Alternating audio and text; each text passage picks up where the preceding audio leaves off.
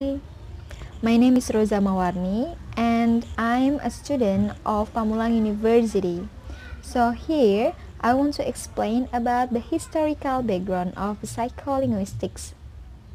So I will explain it in a simple explanation and based on my understanding.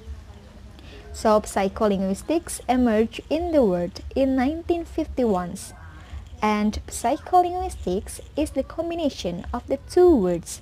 They are psychology and linguistics. Psycholinguistics studies about the psychological and neurobiological factors that enable humans to acquire, use, and understand the language. So, at the beginning of its development, psycholinguistics originate from the existence of linguists who interested in psychology. Wundt is a father of experimental psychology who built the first psychology laboratory in Leipzig, Germany in 19th century. Wundt also introduced the psychology in language whose material isn't much different from what is discussed in psycholinguistics.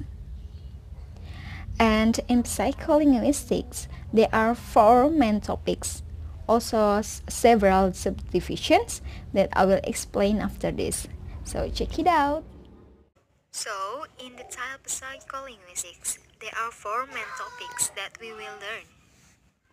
The first is comprehension.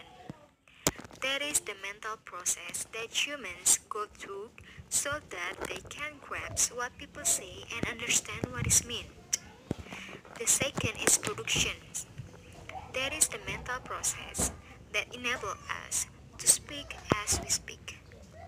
The third is the biological and neurological foundations that make humans able to speak. And the last is acquisition of language that is, how children acquire language.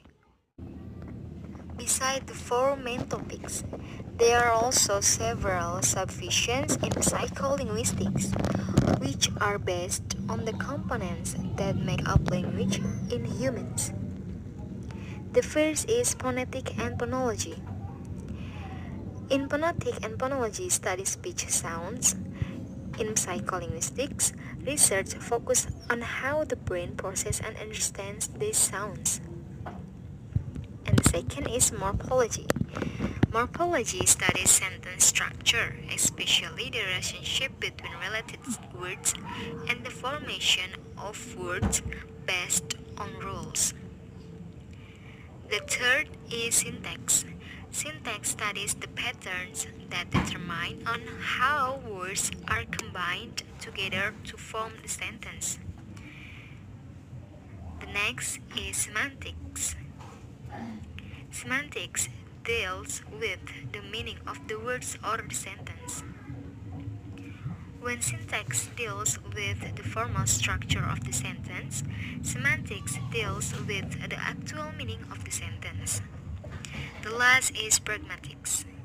Pragmatics deals with the role of context in interpreting meaning.